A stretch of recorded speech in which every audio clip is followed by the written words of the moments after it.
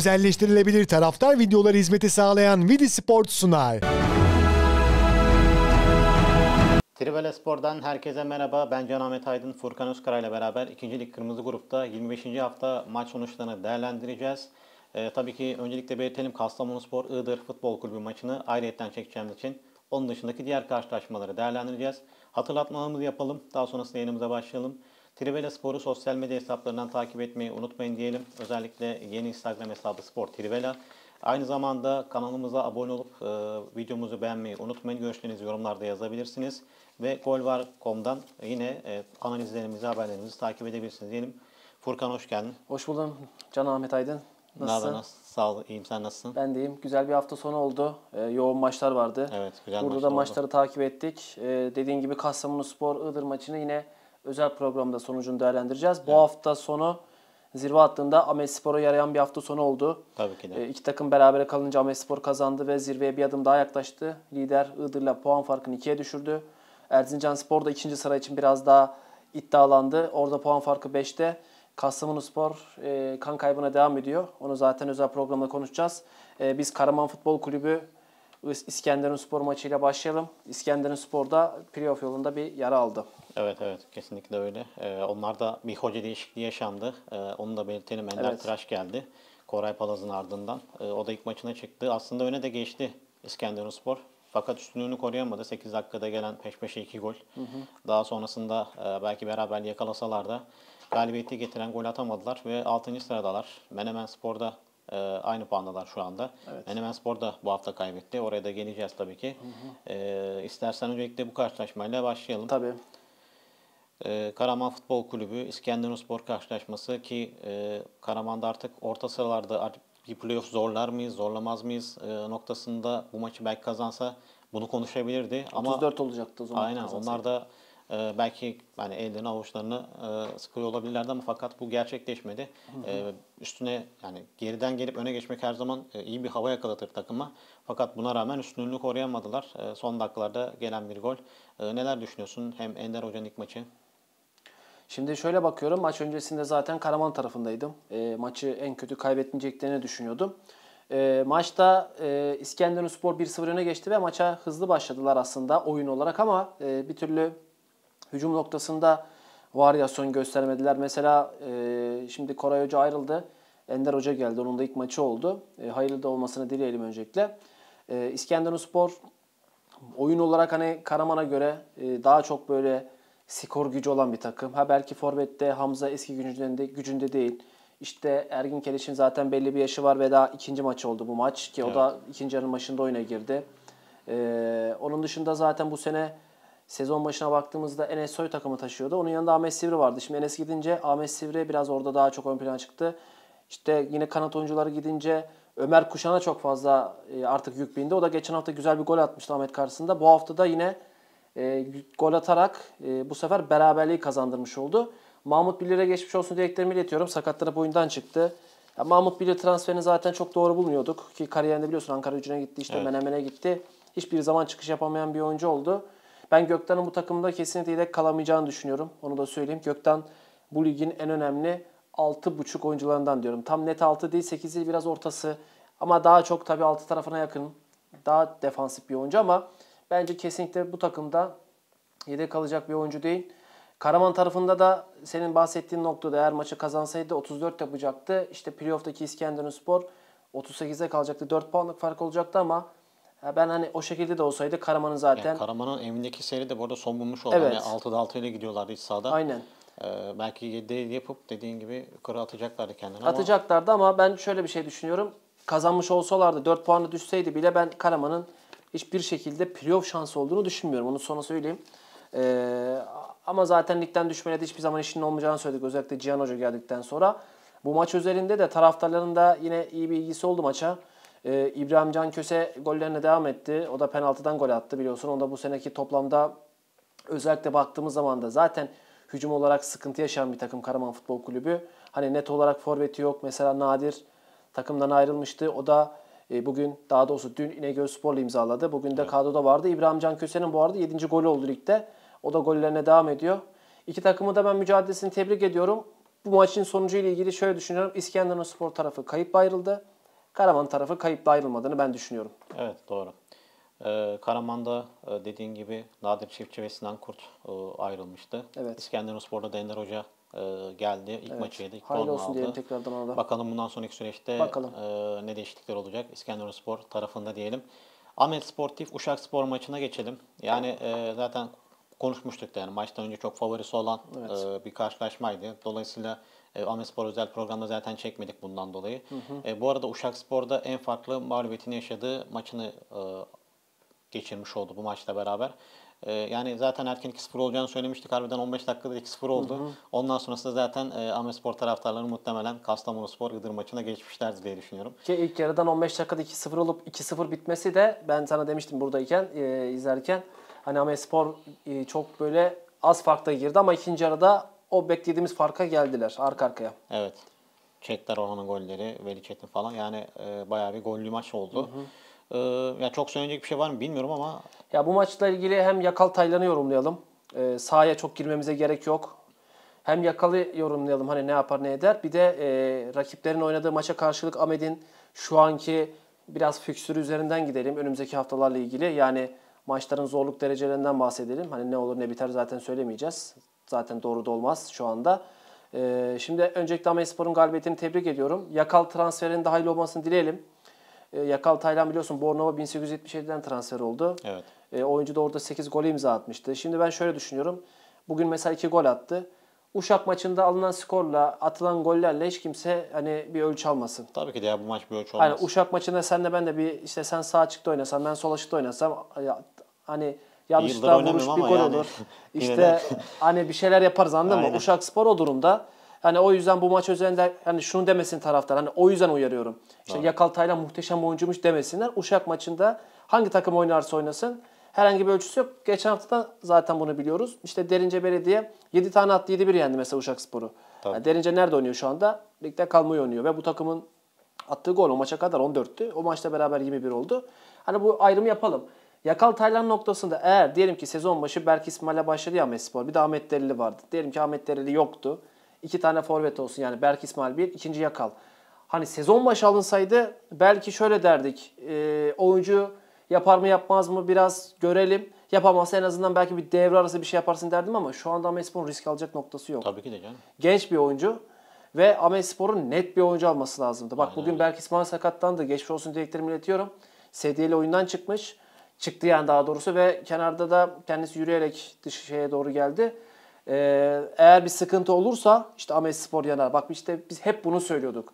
Hani Berk İsmail iyi bir golcü ama önüne onun da önünde bir oyuncu alıp Berk İsmail'i böyle biraz daha e, alternatif olarak düşünmeleri lazım. E şimdi Berk İsmail sakatlandı. Yakala ne kadar güvenemeyecek? Golvar'ın katkılarıyla devam ediyor. Ahmet Spor. Aynen öyle. Ben Yakal'ın sezon başı gelseydi hani çok ne yapacak ne edecek noktasında e, olumlu bakamazdım ama en azından şunu derdim. Hani ilk senenin yani başı için olmaz demezdim ama şu anda devre arası böyle bir transfer doğru değil. Ve Ahmet Spor'un artık e, potansiyel oyuncu noktasında genç oyuncu olarak düşünmeden net oyuncuya gitmesi lazım. Yani bu sene 100 milyon TL yakın para zaten harcandı. devre arası takviye yapıyorsan e, nokta atışları yapacaksın Tabii. ya da hiç yapmayacaksın. Mesela taraftara bana soruyorlar bir Eren Aydın olur mu diye. Bence olmaz. Bak mesela Eren Aydın geçen sene Sarıyer'de oynarken ben hep maçlarını izliyordum.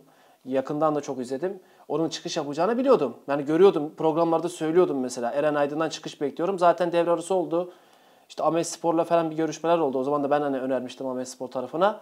E, Ahmet Spor'a değil, direkt rakip olan Çorum'a gitti mesela. Orada çıkışını yaptı. Birincilikte de takımda kaldı. Ama Yakal'da ben o çıkışı beklemiyorum. Şu an için söylüyorum. Bu sene için konuşuyorum. Çünkü bu sene taraftarın sabrı yok. Senden beklentisi yüksek. Şimdi stres dolu maçlar gelecek. Birazdan da o fiksüre geleceğiz. Ee, yani Ahmet Spor'un şu anda öyle bir oyuncuya ihtiyacı yoktu. Net bir oyuncuya ihtiyacı vardı. Ha belki Yakal gelecek. Bu stresi kaldırıp iş de yapabilir ama ben şu anda o riski almazdım onu söyleyeyim. Ahmet Spor'un net bir oyuncuya ihtiyacı vardı. Bak Ahmet Deli yanlış dedik sezon başı. Transfer olduğu takım Fethiye Spor. Bak birincilikten geldi Ahmet'e şampiyonu. Fethiye Spor gibi şu anda sadece ligde kalmayı oynayan bir takım noktasında. Kesinlikle Fethiye'yi küçümsemiyorum. Yanlış anlaşılmasın. Hani hedefi doğrultusunda yorumumu yapıyorum. Onlar da bugün önemli bir 3 puan aldılar. Birazdan da maça geleceğiz. Yani Ahmet Spor için şöyle bir nokta var. Kastamonu berabere kaldı Iğdır'la. Iğdır'la puan farkını ikiye düşürdü. Kastamonu'yu geçmiş oldu. Ama tabii ki Kastamonu'nun bay geçtiği hafta var. Ahmet'in de bay geçeceği hafta var. Önemli olan bu virajı geçmekti. E, Fixture ile ilgili kısa bir şey söyleyeceğim. Bu haftadan sonra haftaya derince deplasmanı çok önemli. İçeride Karaman maçı. Yine deplasmanda Isparta. Çok zorlu bir maç. İçeride Arnavutköy. Can'da başta oynayan Arnavutköy bugün de Bu ara, kazandı. evet, çok formdalar onlar da. Ondan sonra Etimeskut'a gidiyorlar. Etimeskut bugün kaybetti. Net olarak düşme adayı olarak şu anda sıkıntıyı Tabii hissediyorlar. mağlubiyetle öyle oldu o maçta. Yani. Amespor'un zaten beni izleyenler, bizi izleyenler bilirler. İlk devrede e, ben Arnavutköy maçından sonra yani şöyle bakıyorum. Şimdi Karaman Isparta maçı daha doğrusu Isparta. Isparta maçından sonra Amespor'un e, sert fiksürünün başladığını söylemiştim ilk devre. İşte Arnavutköy maçı ile beraber e, Amespor'un bir şeyi başlamıştı. Puan kaybı başlamıştı. Orada 1-1 bitmişti ilk devre. Ardından Etimeskut maçı kazanıldı ama Erzincan'ı yenemedi, Fethiye yenemedi, İnegöl'ü yenemedi, Kastamonu'ya kaybetti, Iğdır'la berabere kaldı. Soma'ya kadar galibiyet alamadı. Evet. Şimdi yine aynı duruma geliyoruz. Isparta maçıyla beraber Amespor'un asıl o sert fikstürü başlıyor. Hani o yüzden orada ne olacağını, nasıl biteceğini merakla bekliyoruz. Amespor şampiyon olamıyorsa da ikinci sırada bitirip kendi grubunun finaline kalması gerekiyor. Kesinlikle öyle. Zaten özellikle ikinci dönemdeki zorlu fikstürleri e, kayıpsız atlatmak çok daha önemli. Bugün de mesela e, zaten hani belki rakip Uşakspor'da ama farklı bir takım da olsa iki rakibinin birbiriyle oynadığı haftada seni zaten 3 puansız geçmen Tabii ki. imkansızdı. O da e, çok önemli bir hava yakalandı. Amespor neyi arıyor biliyor musun? İkinci devrenin başında berabere kaldı Denizspor maçını arıyor. 1-1 bitti. Bak 2 puan alsa şu an liderdi. Tabii ki de. Yani berabereydi. Puanlar eşitti. Evet. Ee, ikili avaraja bakacaktı. 52-52 şu E zaten bu iki takımın oynadığı maç şeyde Iğdır'da 1-1 bitti. Şu an ikinci maç oynamadığı için genel avaraj alınacaktı. E, Amespor lider kapatacaktı bak. Normalde Amespor Deniz yense bugün liderdi. Doğru o da var. Bak psikolojik olarak da çok daha fazla moralli olacaktı. Yani Şimdi gene moraller ama puan kaybetmiş, sen kazanmışsın artık lider olmuşsun. Bu saatten sonra şu an yakaladığın hava bambaşka Tabii, oldu. Ama aynen. bakalım yani bundan sonraki süreçte neler olacak onu da göreceğiz. kesinlikle Amespor'un galibiyetini tebrik ediyorum. Ee, Berk İsmail Ünsal'a da geçmiş olsun dileklerimizi iletiyoruz. Yakaladı tekrardan hayırlı olsun diyelim. Evet. Ee, 24 Erdinya Spor, Denizli Spor karşılaşması. Hani kupadan yorgun gelecek, ne kadar etkileyecek falan bunları hep konuşmuştuk önceki programda. Ee, Favoride aslında bunun- görmüştük ama. Favoride gördük tabii ki ama e, bunun etkileri de vardı. Yok değil. E, fakat ilk yarıda bulduğu golle skoru korumasını da bildi, kazanmasını da bildi Ergenspor ve de Kastamonu Spor'un Iğdır'la berabere kalmasıyla aradaki puan farkında Kastamonu Spor'la maç fazlasıyla da olsa 3'e indirdi. Evet. Bu da önemli e, bir durum. Hani her ne kadar belki maç eksiği e, olsa da Kastamonu Spor'un yani e, biraz şey olarak e, mentalite olarak aynen hani oralar olabilir mi? Şu anda Erzincanspor artık düşünüyor. Zaten iyi giden bir kadro vardı. Evet. Özellikle yukarıdaki takımlara karşı kazandığı puanları da biliyoruz. Yani neden olmasın şu an onlar da diyordur muhtemelen. Ee, bu karşılaşma için neler düşünüyorsun? Denizlispor'da da e, hani kazanamasa da en azından kaybetmiyordu. Birçok beraberliği vardı fakat Evet. bu maçta e, skoru da koruyamadılar. Mağlup oldular yine. E, rakipleri de bu arada hem Derince hem Arnavutköy Belediye onlar da aslında e, iyi e, gidişattalar şu aralar. Derince Ve- bu, bugün bay geçti ama şey kazandı. Arnavutköy maçını kazandı. Yok bu aralar dedim zaten. Evet. Bugünden bahsetmedim. Aynen. Ee, Sarıyer'in mesela e, bugünkü aldığı sonuç galibiyet. Etimeskut deplasmanında. Bunlar da çok kritikken Denizlispor çok kötü bir e, kayıp yaşadı bu hafta. Neler düşünüyorsun maçla ilgili? Şimdi öncelikle Erzincanspor'un galibiyetini tebrik ediyoruz. Ee, Erzincanspor kazanır demiştik ve kazandılar. İbrahim Yılmaz her hafta hani üzerine koymaya başlamıştı dedik. O da oynaya oynaya, oynaya iyice ritim yakalıyor. Bugün de gol attı. Soma Spor maçında da gol atmıştı. O da iki gol oldu. Erzincanspor için bu lig için çok önemli bir oyuncu İbrahim Yılmaz. Çünkü hani birincilikte bile çok yetmediğini söylüyorduk ama ikinci lige fazla gelebilir demiştik. Ee, ve şu anda da İbrahim Yılmaz katkılarına devam ediyor. Bülent Hoca çok iyi gidiyor. Özellikle Bülent Hoca'yı tebrik ediyorum. Kupadan elendi. Tamamen lige odaklandılar artık. 45 puana geldiler. İkinci sıradaki Ahmet'le 5 puanlık farkları var. Lider Iğdır'la 7 puanlık farka düştü. Yani Erzincanspor'un da şu anda Tabii.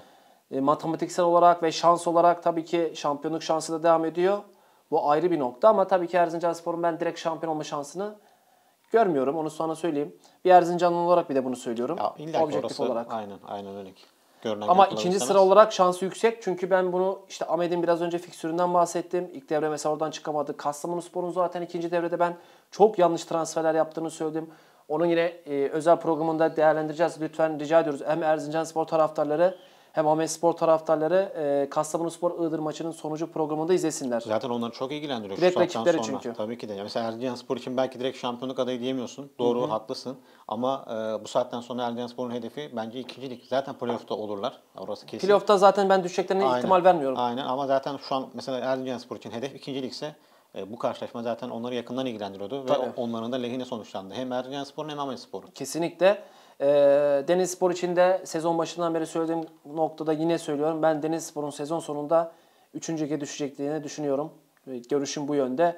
Ee, Erzincan'ın da aldığı galibiyeti tekrardan tebrik ediyoruz. Çok değerli 3 puan oldu. Peki. Geçelim bir sonraki maçımıza. E, Menemen Spor e, evinde belki 3 maçtır kazanamıyordu Evet. ama deplasmanda 6'da 6 yapıyordu e, demiştik maç öncesi programımızda. Fakat Fethiye Spor deplasmanında 2-1 kaybettiler. E, bu galibiyeti bekliyor muydun Fethiye Spor tarafında? Oradan başlayalım. Murat Yılmaz'ın e, iki golü var. Orada da e, bir golcü transferine rağmen Murat Yılmaz'ın da e, golleri atmasına ne düşünüyorsun? Şimdi öncelikle Fethiye Spor'un galibiyetini de tebrik ediyorum. Çok kritik 3 puan aldılar. Çünkü Sarıyer kazanmıştı. Ee, Etimesgut işte kaybetti. Eğer Fethiye kazanamasaydı 24 puanla kalsaydı düşman ile puan farkı 2 olacaktı sadece. Hani zaten 2'deydi aslında ama Sarıyer 23'teydi ya. Evet. Hani Sarıyer oradan kendisini bir tık daha yukarı attığı için e, onlar da bu sefer daha ciddi anlamda sıkıntı hissedeceklerdi. E, o yüzden aldıkları 3 puan bir de geriden gelip almaları onlar o- için o- önemli o- bir reaksiyon oldu. doğru. Çünkü Fethiye Spor hani Erhan Altın Hoca görevden ayrı- ayrıldıktan sonra Taner Gülleri göreve gelmişti. E, Taner Hoca böyle takımı iyi bir şekilde götürürken bir anda takım yine düşüşe değişti.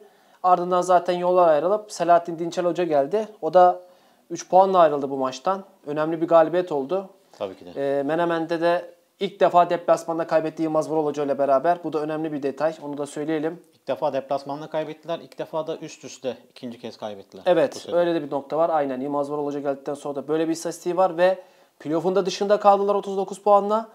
E, hafta arası da Hakkı Türker transferi geldi. E, Burak Yasin Yeşilay transferleri geldi. Onlar Zaten ben devre arasında gelen transferleri beğenmemiştim. Yani bu oyunculardan önce gelen. Hani ben hedefe götürecek noktada transfer olduğunu düşünmediğimi söyledim. Hakkı Türker Adana Spor'dan geldi. Hakkı Türker yani zaten birinci lige uygun olduğunu düşünmüyorum ama bence ikinci lige de uygun değil şampiyon olacak takımlar için. Yani şu an Ahmet, Iğdır, Kastamonu da alsaydı yine aynı yorum yapacaktım. Valla ben Menemen'le ilgili yaptığım yorumlarda şu anda yanıldığımı düşünmüyorum. Devre arası transferleri noktasına bakarak. Ne Atakan Üner, bak Sedat Cengiz yedek kaldı mesela. Hoca değerlendirmedi, sonradan aldı. Sedat Şentürk yedek kaldı, oyuna bile girmedi. Şey pardon oyuna girdi. Ee, 58'de girdi. Neden yedek kaldığını mesela ben Sedat'ın anlamadım. Şahin Türk'ün. Hani Sedat'ın yedek kalmasını yanlış buluyorum Sedat Şahin Türk'ün. Ama Sedat Cengiz noktasında zaten düşüşte olduğunu hep söylüyorum. İlk devre işte Düzce'de, geçen sene işte Ankara Spor'da oynarken söyledim. Daha doğrusu Düzce'ye gelmişti ardından ikinci devrede. Yani Sedat'ı doğru buluyorum Cengiz'in yedek kalmasını ama Sedat Şahentürk kesinlikle bu takımda yedek kalamaz. Ve yapılan transferler noktasında da Menemen Futbol Kulübü bana göre devre arasında Kıvanç ve Mazlum Demir dışında e, transfer yapmak için transfer yaptığını düşünüyorum. Anladım. Ya kad- kadro kalitesinden dolayı bu tarz maçlarda bu tarz sonuçları yaşıyorlar. Peki bundan sonraki süreçte neler düşünüyorsun? Çünkü şu Menemen e, İnegöl'le, Kastamonu'yla, Iğdır'la peş peşe oynayacak. Yani zaten üst üste alınan iki mağlubiyet var. Evet. Bundan sonraki üç maç için ne düşünüyorsun kısaca? Vallahi şimdi Menemen e, acilen seri galibiyetler alması lazım playoff'a kalmak için. Şimdi ben şöyle bakıyorum. Bu grupta Isparta, İskenderun, Menemen'den birisi dışarıda kalacak. Yani Soma'nın da playoff'a kalamayacağını düşünüyorum. O yüzden 3 tane takım koyuyorum. Isparta, İskenderun, Menemen. Doğru. Bu üç takımdan biri dışarıda kalacak. Muhtemelen aynı. Yani alttaki Soma'nın, işte İnegöl'ün hiçbir şekilde playoff'a kalabilmesi Karaman. ihtimali yok. Karaman da yok. Karaman'ın zaten İnegöl'e göre maç fazlası da var. Evet. Yani o yüzden ben Menemen'in playoff'a kalaması da çok da şaşırmam zaten. Hani özellikle o devre arasındaki kaliteden nokta. Aslında şöyle bir nokta var. Ha bu üç takımda hangisi kalamazsa şaşırmam. Doğru. Ya bu üç takım Yani çünkü bak belki- İskenderun'da Hakan Bolt Başkan zaten diyor. Bizim hedefimiz bu sene playoff'a kalsak da olur kalmasa asıl seneye diyor. Menemen zaten kendi görüşüm olarak yanlış yaptığını düşünüyorum devre arası. Isparta zaten sezon başı benim kendimin e, görüşüm ligde kalmayı oynar dedim. Bu takım Ya farklı bir zaten- hava yakaladı. Isparta zaten genel Sürpriz anlamda oldu. aynen herkese bir sürpriz oldu. Dediğin gibi direkt aman aman şampiyonluğu oynuyoruz diyen takımlar değil zaten üçü de. Bakalım üçünden hangisi playoff'a girecek onu Aynen. göreceğiz. Ee, Merakla da bekliyoruz. Fethiye'nin de galibiyetini tebrik ediyorum. Evet. Çok kritik ve değerli 3 puan oldu. Son anda gelen golle e, Murat'ı da tebrik edelim. Onu da kutlayalım. Etimeskut Belediyespor Sarıyer e, programın başlarında da senin de söylediğin gibi bu mağlubiyetle biraz da potaya girdi aslında Etimeskut Belediyespor. Sarıyer için çok kritik bir karşılaşma, Evet. çok kritik bir galibiyet oldu. Direkt rakibine kaybettiği puanlar vardı. E, bu maç yani onlara da bir bir anlamda e, nefes alma, e, bir hayat öpücüğü oldu. Yani neler düşünüyorsun? Sarıyer'in galibiyeti devamı gelir mi? Etimeskut potanın içine daha da ciddi bir şekilde girebilir mi? Bu karşılaşmaya geçelim. Şimdi zaten e, şöyle bir nokta var. Öncelikle İlker, Sarıyer'in İlker galibiyeti Hoca'nın da e, Evet. kredisi biraz arttı. Kesinlikle bu maç ona e, iki maçlık hatta belki de üç maçlık bir kredi yarattı diyorum. Öncelikle Sarıyer'in galibiyetini tebrik ediyorum. Etimeskut tarafındaydık. E, ama bu maçta yanıldık ve bizim yanılmamızla beraber daha çok fazla da yara alan bir Etimeskut Belediyespor oldu. Çünkü takım 25 puanda kaldı. Sarıyer geçti. Derince bay geçmişti bu haftayı. E, o yüzden hani düşme hattıyla 3 puanlık farkları oluştu. Arnavutköy kazandı. Arnavutköy'le de 4 puanlık bir farkları var. Hani 2 haftadır kazanan bir Arnavutköy noktasına geldi. Çünkü hani bir en azından bir moralmen ve psikolojik olarak Arnavutköy ben de bu işin içinde varım. Ligde kalmak istiyorum dediği için Etimeskut oraya bir tık daha yaklaştı. Zaten Etimeskut'un sıkıntılarından bahsediyoruz. Bu takım üretemiyor. Yani bu takım şu anda 25 haftada yani daha doğrusu 24 hafta maç yaptılar. 14 gol attı sadece bu takım. Ya bu bazı şeyleri gösteriyor. Emirhan Çalışkan transferi geldi Adıyaman Futbol Kulübü'nden. İlk devrede Adıyaman'da oynamıştı 21 yaşındaki e, genç oyuncu. Ben Etimeskut'un doğru bir transfer yaptığını düşünüyorum. Bir de oradan Efe Geçili gelmişti devre arasında. Efe zaten daha önce geldi ama Efe'nin mesela yanlış transfer olduğunu söylemiştim Forvet. Emirhan rahatlıkla iş yapar burada. Potansiyeli bir genç. Gol konusunda katılıyorum. Yani Etimeskut'un gol problemini bir an önce çözmesi lazım. Küme düşme hattındaki rakipleri bile kendisinden iki katı kadar gol atmış durumda. Ligin en az gol atan e, takımı şu anda. Aynen. Ya bakalım bundan sonraki süreçte onlarda neler olacak. Şimdi Sarıyer için de şöyle bir nokta var. Umut Bulut biliyorsun sakatlanmıştı Ahmet maçında. Geçen hafta yedekti, bu hafta da yedekti. 83'te girdi. E, biraz orada sıkıntı yaşıyor şey Sarıyer. E, zaten ta dönmezinde bir kırmızı kartı vardı. O yüzden hani forma şansı bulamadı. 83'te girmedi, 83'te çıktı. Şey pardon 83'te çıktı yanlış söyledim. E, tam tersini diyecektim. E, 83'te oyundan çıktı. Şeyde de e, Sarıyer'de de ayrıca yeni transferler geldi. Erdal Öztürk transferi geldi Gençler Birliği'nden. Çok değerli bir oyuncu. İkinci ligde de e, şeyden önce Gençler Birliği'nden önce Ankara Spor'da oynamıştı biliyorsun. Rahatlıkla ben iş yapacağını düşünüyorum. İyi bir transfer. Onu sana söyleyebilirim. E, bu lig için e, ligde kalma noktasını geçiyorum. Mesela Erzincan Sporu, Sparta, İskenderun, Ahmet o da transfer etse zirve oynayan takımlar. Onlar için de ben doğru transfer derdim. Bence çok nokta bir transfer oldu. E, Alper Duruk noktasında ne düşünüyorsun peki sen? Erdal Öztürk ve e, Alper Duruk transferleri oldu e, transferin son günlerinde. Zaten Erdal Öztürk iyi bir transfer ki bugün de 46 dakika oynadı. E, yerini Saruhan'a bıraktı. Özellikle şöyle bir nokta var. Taraftarın çok büyük tepkisi olduğu bir e, Tarık Çamdal vardı ilk devrede özellikle. Hatta bugün e, maç günü paylaşımında bile niye bunu koydunuz? Aynen çok fazla yorumlar olmuş. vardı. Tarık da bugün hiç oynamadı. E, oyuna da girmedi. Taraftarlar da biraz bence alınan bu galibiyetin karşılığında bunu da düşünmüş olabilirler. Hani bak Tarık oynamadı biz maçı kazandık diye. E, Sarıyer için de bence 6-9 puanlık bir galibiyet oldu. E, aldığı galibiyeti tebrik ediyorum. Etimeskut'ta da Alper Hoca bir türlü hani istikrarla şöyle iki maç üstte maç alamadı. Zaten üretemiyorlar.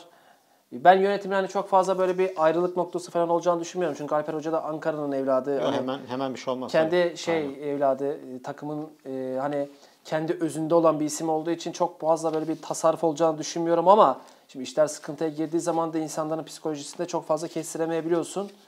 E, ama Etimeskut için şöyle bir nokta var. Eğer Etimeskut haftaya Düzce Spor'la maçı var. Düzce'de ligde kalmıyor. O da 25 puanda. Eğer bir mağlubiyet falan gelirse Etimeskut'a haftaya bence Alper Hoca çok fazla kalamaz diye ben kendim düşünüyorum. Doğru, doğru. Bakalım da ne olacak. Aynen. Düzce'de demişken Arnavutköy Düzce maçına geçelim. Geçelim. Ee, Arnavutköy Belediyespor 3-0 kazandı ki e, bu sezon ilk defa üst üste ikinci galibiyetini aldılar. Ee, zaten çok kötü bir gidişatları vardı fakat e, son 4 haftada da kaybetmen bir Arnavutköy Belediye'ye döndü.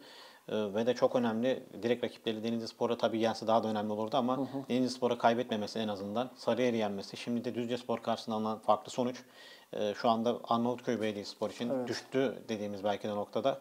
Bir anda potanın içinde bir ciddi bir şekilde tekrar girdi. Yarışın içinde olacaklar da gibi gözüküyor. Düzce Spor'da da 5 transfer açıklanmıştı yanılmıyorsam bu hafta içinde fakat onlarda da mağlubiyet serisi devam ediyor. Ee, bu maç özelinde neler söylemek istersin? Öncelikle e, Arnavutköy Belediye'nin aldığı galibiyeti tebrik ediyorum. E, ben Arnavutköy Belediye tarafındaydım. Ki bunu söylerken de yine ligden düşeceğini de söyledim.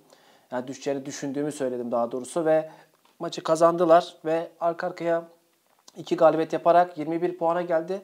Düşme hattının üzerine 4 puanla geliyor. Haftaya Etimeskut Düzce maçı var. Evet. İki takım da 25 puanlı. Çok fena Ya maç. ikisi birbirini yakacak ya biri birbirini yakacak. Beraberlik ikisine de yaramaz. Ee, ikisine zaten beraberlik yaramaz. Arnavutköy'de Aksaray'la oynuyor. Çok sert bir deplasman. Eğer Arnavutköy haftaya hani bir galibiyet falan çıkartabilirse onu zaten hafta arasında konuşacağız ama Arnavutköy işte o zaman tam net olarak ligde kalma noktasını daha da e, alevlenecek ve şansı artacak. E, benim görüşüm hala aynı. Ben Arnavutköy Belediye'nin evet düşeceğini düşünüyorum. Ama tabii ki ben bu ihtimali matematikselleri de koymam gerekiyor. Futbolun gerçeklerinde bunlar var. Evet. Arnavutköy gider Aksaray'ı yener üstüne bir maç daha alır. Bir anda 27'ye getirir. Bu sefer e, işin rengi farklı noktada olabilir. Düzce tarafı için de şöyle söyleyeyim. Düzce Spor'un ben ligde kalacağını düşünüyorum. Çünkü ben kendi görüşüm olarak 4 takım söylediğim için hala aynı görüşüm devam ediyor. Uşak, Denizli, Arnavutköy, Belediye, Derince'nin ben düşeceğini düşünüyorum.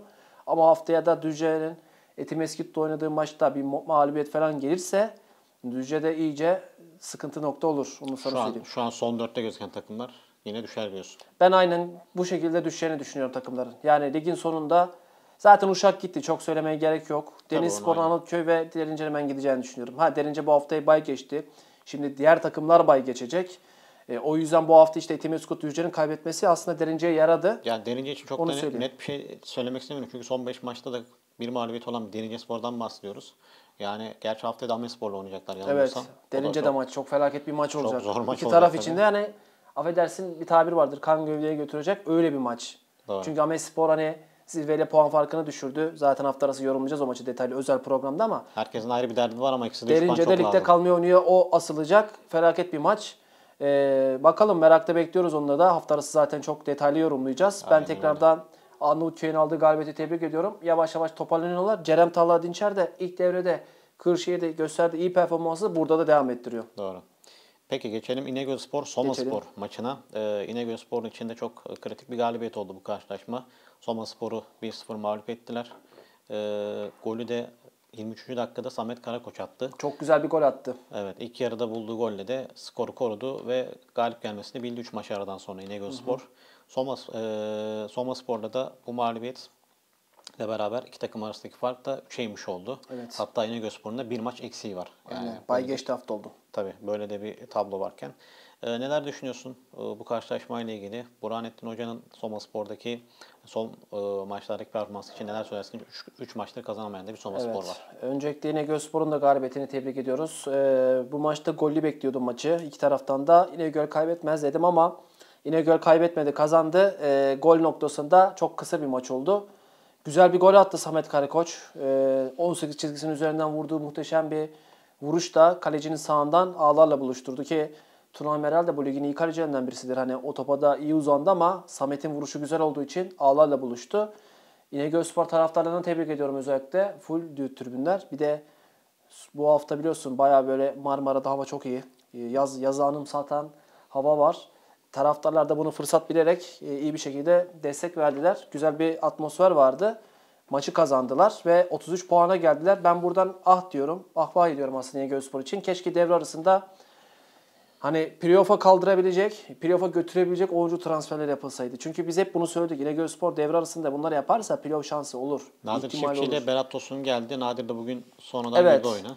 Berat Tosun geldi. Hayırlı olmasını dileyim. Nadir geldi. Yine hayırlı olmasını diliyorum. Şimdi şöyle söyleyeyim. Berat Tosun bu ligde çok fazla takımlarda oynadı. Tecrübeli bir oyuncu. Yani e, bu ligin havasını bilen, takımların işte beklentisini bilen bir oyuncu. 30 yaşında. Ama ya Berat Tosun aslında o beklediğimiz patlamayı bir türlü yapamadı. Doğru. Yani yıllarca işte Hacettepe'de oynadı. Gençler Birliği'nde oynadı. Balıkesir'de, Adana Demir, Bolu, Fethiye, Fethiye, Tokat. Tokat'a gitmişti alt tarafa ama ardından işte Etimeskut'ta falan oynadı 19-20 sezonunda. Ama Berat Tosun bir türlü o beklediğimiz patlamayı yapamadı. Yani zaten 19-20 yılından itibaren şu sezona kadar alalım attığı gol sayısı çift taneyi zor buluyor yani. Doğru. Ya çift taneyi zor buluyor. Yani 13-14 yakın golü var. Taraftarların mesela yorumları vardı. Diğer takım taraftar. Mesela Ahmet Spor'un. Hatta biz İnegöl'ü imzaladıktan sonra hani Ahmet de forvet arıyor diyor. Keşke işte biz Berat Tosun'u alsaydık. Asıl bizim almamız lazım. Ya Berat Tosun bitik noktada bir oyuncu. Doğru. Oraya çok zaten katkı vereceğim. Berat zaten öyle olmasa alt lige düşmezdi. Aynen Veya öyle. işte yine forvet almak isteyen işte Kastamonu'dur, Trabzon'dur, Erok'tur onlar transfer ederdi. Ki zaten hani orada olmazdı sezon başı da. Burada başlardı. Doğru. Ee, İnegölspor zaten devre arası böyle çok üst düzey oyuncu almadığı için bu tarz transferlerini şaşkınlıkta karşılamadım. Nadir zaten düşüşte bir hoca. Geçen sene İskenderun'la devre arası geldiği zaman da İskenderunspor için de ben uyarılarımı yapmıştım. Hani Nadir bir tek Yunanistan'daydı çünkü o zaman Atromitos'taydı. İskenderun'a geldi. Bir katkı veremedi. E bu sene başı Karaman'a gitti. Yanlış dedik. Yapamadı. Devre arası ayrıldı. Buraya geldi.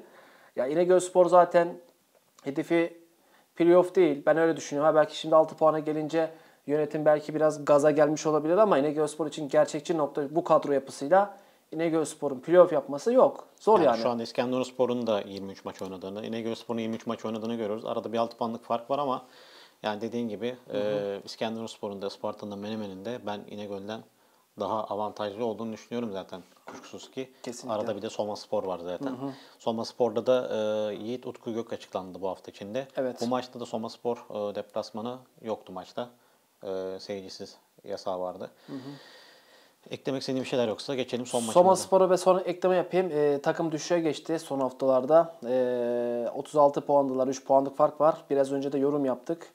İşte Isparta, İskenderun, Menemen'den birisinin playoff'a kalamayacağını söyledik. Ki oraya da eklemeyi yaptım. Ben Soma'nın playoff'a kalamayacağını düşünüyorum.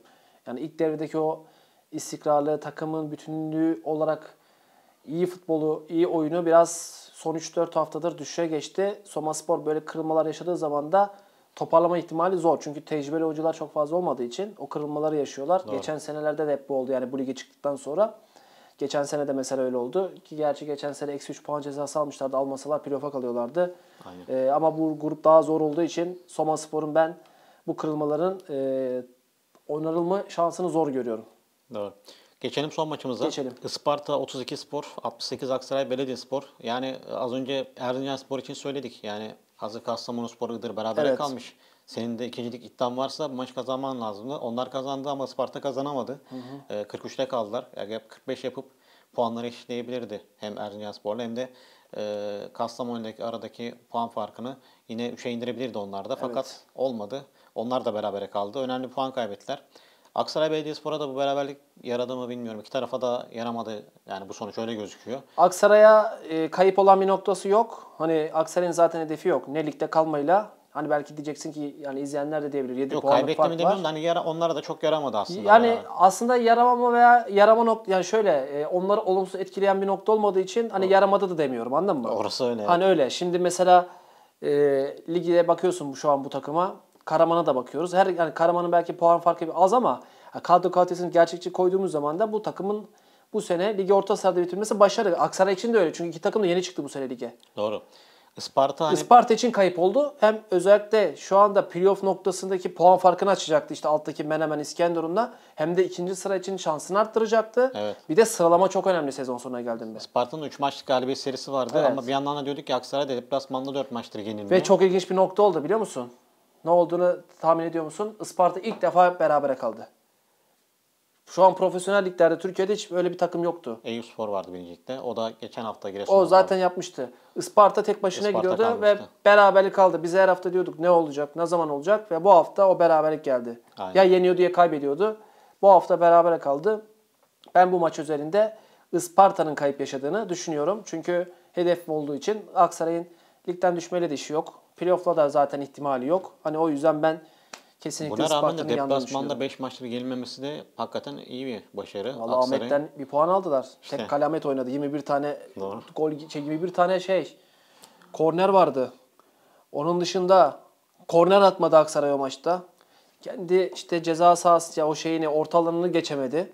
Bir puan çıkarttı. Isparta playoff oynayan ikinci sıra oynayan oradan bir puan çıkarttı. Bunlar değerli yani. Yani Takım savunmasını yapıyorlar. Isparta'nın ve Iğdır'ın da e, galibiyet serilerinin bu hafta sona erdiğini söyleyelim. Evet. Ekleyelim. E, son maçımızda konuştuk. E, genel anlamda şöyle söyleyelim. Hani e, yukarıda Ahmetspor ile Erzincanspor'un e, çok karlı bir hafta geçirdiğini. Kesinlikle. E, bütün rakipleri puan kaybetti. Bir tek bu iki takım kazandılar yukarıda. E, bu çok önemli. E, böyle bir haftayı geride bıraktık. Aşağıda da e, Arnavutköy Belediyespor'un ve Sarıyer'in. e, Sarıyer'in de dahil edelim ayrıca. Aynen Fethiye'nin de oradan uzaklaşması onlar için de çok önemli. 3 puanlar oldu. Kesinlikle. Böyle bir haftayı geçirdik. Bakalım e, önümüzdeki hafta neler olacak. Onu da zaten hafta içindeki programda değerlendireceğiz. Aynen. Eklemek istediklerin varsa alalım. ben kazanan tüm takımları tebrik ediyorum. Ee, izleyen herkesten öncelikle abonelik, ardından videomuza beğeniyorum ve sonuna kadar da izlemelerini tüm takımlarla ilgili çünkü konuşuyoruz ve paylaşmalarını bekliyoruz. Ee, yeni Instagram hesabımız Sport Triver hesabından lütfen bize takip etmeyi unutmayın. Hem programlarımızın duyurusu hem son dakika haberleri Evet. hem de işte tüm gelişmeleri paylaşıyoruz. Ayrıca Twitter hesabımızda da çok aktifiz. Oradan da lütfen e, bizleri takip etmeyi unutmayın diyelim. Herkese iyi seyirler diliyorum. Sana da teşekkür ediyorum. Ben de 26. hafta maç öncesi programında görüşmek üzere. Aynen görüşmek üzere diyelim. İkincilik Kırmızı Grup'ta 25. hafta maç sonuçlarını değerlendirdik. Bir sonraki programımızda görüşmek üzere diyelim. Herkese iyi günler dileriz. Spor kulüplerine taraftar etkileşimleri sağlayan, sponsorluk değerlerini arttıran ve yeni gelirler kazandıran Vidi Sport'un sunduğu Trivela Sport sona erdi.